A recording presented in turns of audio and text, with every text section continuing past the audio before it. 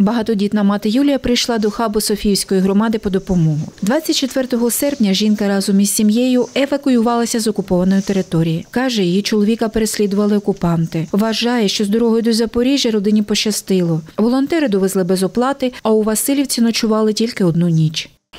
Виїхали, тому що не хотіли жити з такими тварюками російськими.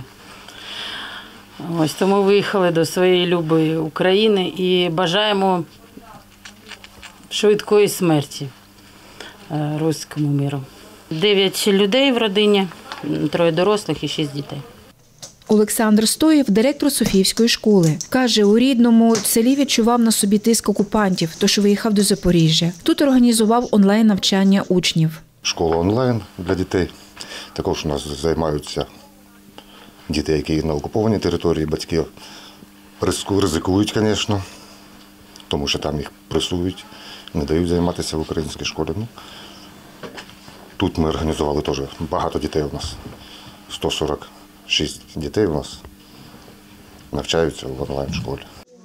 Окрім гуманітарної і консультативної підтримки, у хабі надають медичну допомогу. Лікарський прийом веде переселенка Юлія. До війни працювала в Приморському районному центрі первинної медико-санітарної допомоги. З нею укладали декларації також і жителі Софіївської громади. На сегодняшний день мы принимаем здесь переселенцев да, по количеству человек ну, порядка 5-6 в день. Иногда бывает меньше, но в основном так. Э, Основной функционал – это осмотр семейного врача, да, назначение терапии какой-то в зависимости от патологии, э, заключение деклараций, как семейные, сначала их направляю, а потом они уже с этими направлениями обращаются к узким специалистам. Э, Выписка рецептов бескоштовных, которые они получают по программе «Доступні ліки».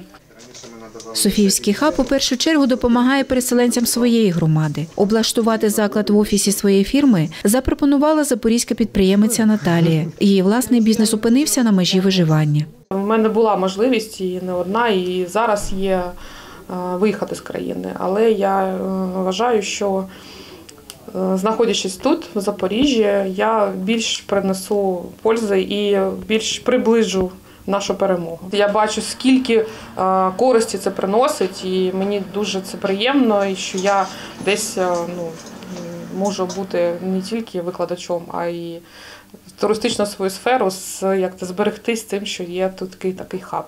Перші місяці ми значною мірою допомагали е, людям, які знаходяться в окупації. В першу чергу були сконцентровані на передачі ліків.